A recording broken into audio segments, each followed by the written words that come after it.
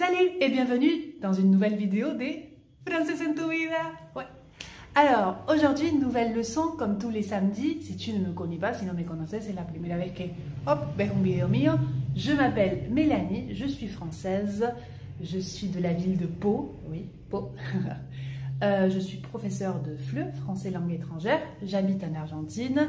Je suis bilingue, soy bilingue. C'est pour ça que si tu entends que j'explique les choses en espagnol, hein c'est parce que voilà, euh, je, parle aussi euh, l'espagnol couramment. Donc voilà. Euh, Aujourd'hui, on va voir les pronoms relatifs complexes, los pronombres relativos complexes complexe, complejos. ¿eh? Bon, pourquoi complexe Tu vas voir. Habíamos visto en uno de mis videos, te expliqué el qui, el que, el u, que esos son los simples, y luego tenemos los complexes, ¿eh? que son los de hoy. Alors, voy a explicar por categoría, on va voir les différentes catégories. C'est très facile. Realmente es un tema que es fácil, pero eh, creo que causa problemática porque uno no tiene un orden cuando uno los estudia es como que se mezcla, pero si te haces por categoría, como te lo voy a explicar yo, te juro, no vas a tener ningún, ningún, ningún problema. Hein? C'est parti, on y va. Alors, le premier point, c'est avec une préposition ou une conjonction. Hein? Con una preposición o una conjonction, ahí vas a tener lequel, el cual, laquelle, la lesquels, bien, et lesquels? Bien. Como lo escuchás, la diferencia entre el masculino y el femenino en plural es mínima, ¿no? No se escucha la diferencia. Bien. Alors, como dije, avec une préposition ou une conjonction, vamos a usar esos. Por ejemplo, me va a decir Melanie, preposición, te doy una listita, que acá tengo mi, mi machete. Pour, por, avec, con, sans, sin, sur, sobre, sous, debajo, devant, enfrente, derrière, atrás, avant, antes, après, después, etc. Vamos con un ejemplo. C'est la raison pour laquelle je ne viendrai pas. C'est la raison pour laquelle je ne viendrai pas. Es la razón por la cual je voy a venir. Donc, c'est la raison pour, on a justement la préposition. Donc, je peux utiliser laquelle, la cual, porque c'est quoi C'est la raison féminine. Euh, je ne viendrai pas, no vendré. Ahí tenemos el verbe futur simple, hein, le verbe venir. Autre punto, le pont sur lequel nous passons est en travaux. Le pont sur lequel nous passons, el puente sobre el cual nosotros pasamos está en obras. En travaux es en obras. Bien, entonces, sur lequel, parce que le pont, masculino, entonces, lequel. Ça va? C'est très facile. Hein? C'est facile? Ouais Ok, entonces ahí tenemos lequel, laquelle, ¿eh? con la preposición conjunción. Después tenemos cuando justamente hacemos la contracción y creamos un eh, justamente relativo complex. Por ejemplo, si tenemos a preposición más lequel, va a formarse auquel. auquel. A preposición más lequel va a ser auquel, que se pronuncia igual, pero es el plural. Y a eh, preposición más lequel va a ser auquel, que se pronuncia igual, pero es el femenino plural. Bien, vamos con ejemplos. Voici les journaux auxquels je suis abonné. Voici les journaux auxquels je suis abonné. Ahí qué pasa? Porque digo preposición a, porque justamente la estructura, la structure du verbe, ve, tiene una preposición, porque yo digo, voici les journaux auxquels je suis abonné. Je suis abonné es estar eh, suscrito, como que si vos, ¿tu abonné a ma chaîne? ¿Estás eh, suscrito a mi canal? No te olvides. ok, donc c'est être abonné a, justamente, estar suscrito a. Entonces por eso yo voy a usar... Comme ça. Entonces por eso voy a usar auquel, hein, porque ce sont les journaux, plural. Hein. Les journaux sont los periódicos. Hein. Voici les journaux, hein. voici demostrativo. Aquí están los periódicos los cuales yo estoy suscrito. Bien Ok, ça va? Bien. Autre exemple, le club auquel il est inscrit se trouve à Nice. Le club auquel il est inscrit. Alors, ¿por qué auquel ahí? Porque le club hein, es masculino y c'est être inscrit a estar anotado en en español, bueno, pero en francés, a, bien, être inscrit a. Entonces, le club masculino, masculino, entonces, auquel. Hein? Entonces, le club auquel il est inscrit se trouve à Nice, hein, club en el cual está inscrito, anotado, eh, se encuentra en Nice, une très jolie ville, Nice. Jusqu'à là, ça va? Ouais Bon, je continue.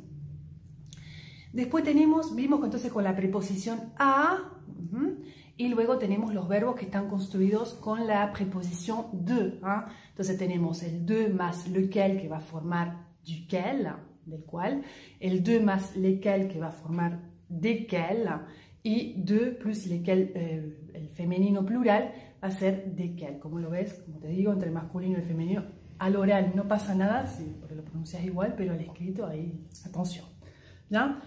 Entonces ahí lo vas a encontrar con eh, eh, fórmulas como por ejemplo le long de, a lo largo de, a partir de, a partir de, au sujet de, con el tema de, en haut de, arriba de, en bas de, abajo de, au milieu de, en el medio de, au fond de, en el fondo de, à côté de, al lado de, a cause de, a causa de, bueno, etcétera, y muchísimas más, pero ahí con esa ya podés hacer bastantes frases. Por ejemplo, le fleuve le long duquel nous nous promenons est le Rhône. Le fleuve au long duquel nous nous promenons est le Rhône. El río en el cual, a lo largo del cual, perdón, el río a lo largo del cual eh, nosotros estamos paseando es el Rhône. ¿bien? Entonces, le fleuve le long duquel, a lo largo del cual, le long, entonces, duquel, del cual, porque es le fleuve uh, masculino, entonces, duquel. ¿Ça va? Bien, tenemos el de, entonces por eso. Voici les livres au sujet de, euh, desquels tout le monde se dispute. Hein? Voici les livres, aquí están los libros los temas au sujet desquels, hein? desquels los temas de los cuales todo el mundo pelea. Hein? Bon, faut voir. Donc, sujet au, au desquels, porque es sujet de quelque chose, entonces uso el plural. ¿Ça va? Espero que sí, ¿eh? Decime en los comentarios, oui Mélanie, j'ai compris, je me pondrais muy feliz. Et après, on a les pronoms relatifs qui concernent des personnes. Hein. Sobre personas, ahí justamente tenemos dos posibilidades. Eh, tenemos, por ejemplo, c'est le collègue avec qui je travaille, c'est le collègue con el cual, avec qui je travaille, hein, avec qui, porque qui habíamos visto que era sujeto, y eh, siempre teníamos el qui, que habíamos visto que era seguido un verbo, si ves mi video lo sabes. y después podemos decir, c'est uh, le collègue avec lequel je travaille, con el cual uh, yo trabajo. Ahí las dos posibilidades cuando es justamente sobre sujeto, sobre personas. ¿eh? Hasta ahí no hay, no hay dificultad. Luego vamos a pasar al don, ¿eh? don que es cuyo, cuya, bien, que son los verbos que están construidos con de, ¿eh? avec de en francés, ¿eh? de. Alors, por ejemplo, c'est un projet dont je suis content. C'est un projet dont je suis content. ¿Por qué uso el don ahí? Porque es être content de quelque chose, estar contento de algo. Entonces, ese de algo lo puedo reemplazar por el don. ¿No es genial? Entonces, c'est un projet dont je suis content. Otro ejemplo, voici l'auteur dont je parle. Voici l'auteur dont je parle. Aquí es, o este es el autor del cual yo hablo. Uso el don porque es parler de quelqu'un, parler de, hablar de, entonces uso el don. Entonces, todas las, las construcciones con de eh, puedo usar el don. ¿Ça va? Luego vamos a la categoría avec un démonstratif, cuando tenemos un demostrativo. ¿eh? A ver, prends le livre qui est sur la table. ¿eh? Agarra el libro que está sobre la mesa, que j'ai acheté, que yo he comprado, dont j'ai parlé, del cual yo he hablado. Ahí, ¿cómo lo voy a poder cambiar para poner un pronom relatif? Para no ser tan redundante, puedo decir, prends celui qui est sur la table. Agarra ese que está en la mesa. Prends celui qui, est sur la table. Acuérdate que el qui siempre seguido de un verbo. Très bien. Ou prends celui que j'ai acheté, el que yo he comprado. Celui dont j'ai parlé. Celui dont j'ai parlé, parler de, entonces puedo usar el don. ¿Ves? Es muy fácil, ¿no? Oui. otras estructuras. Por ejemplo, j'ai peur de quelque chose. Hein, tengo miedo de algo. Hein, de quelque chose. Entonces, voici ce dont j'ai peur. Hein, voici ce dont j'ai peur. Aquí está lo que me causa miedo. Hein, voici ce dont j'ai peur. Quelque chose ne va pas. Algo no va. Quelque chose ne va pas. Voici ce qui ne va pas. Aquí está lo que no va. Ah, si se pudiera saber estaría bueno. ¿eh? Il y a quelque chose que je ne comprends pas. Hay algo que yo no entiendo. ¿eh? Voici ce que je ne comprends pas. Aquí está lo que yo no comprendo. Entonces, como lo ves, son todas estructuras que justamente tienen eh, demostrativos. Entonces, puedo usar los eh, pronoms euh, relatifs euh, complexes.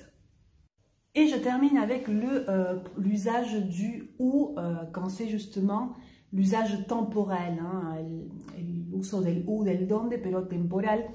Por ejemplo, c'est le jour où nous sommes partis, es el día el cual nos hemos ido, où nous sommes partis, el tiempo, justo el día, et ou la fois où ils ont pris le TGV, train à grande vitesse, la vez en la cual han tomado el train à grande vitesse, le TGV.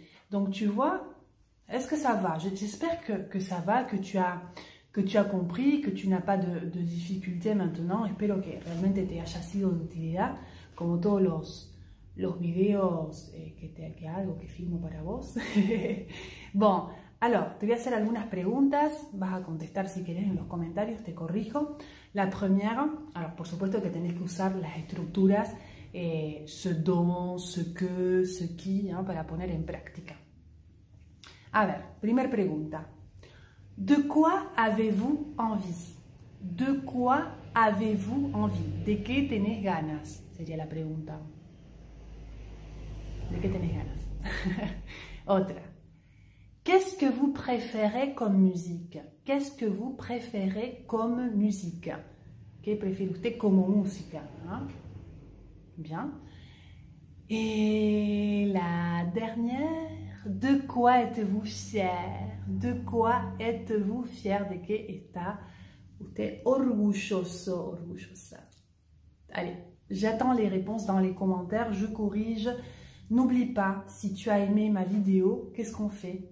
Oui, on met un petit pouce bleu, esto, por favor, porque si no, si no, no ponen esto, yo sé que uno mira el video y hace otras cosas, porque bueno, trabaja, estudia, pero esto me ayuda, porque si yo no veo esto, digo, bueno, lo miraron X personas, eh, pero no sé si sirve. Entonces yo lo hago en mi tiempo libre, siempre lo digo, lo hago con el corazón.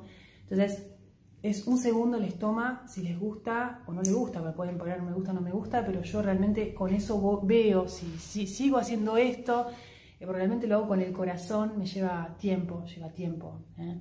y quiero saber, así que no te olvides por favor si miras mi contenido, si te gusta lo que yo hago, déjame un comentario, un segundo, esto que es lo único que te pido. Así que te agradezco.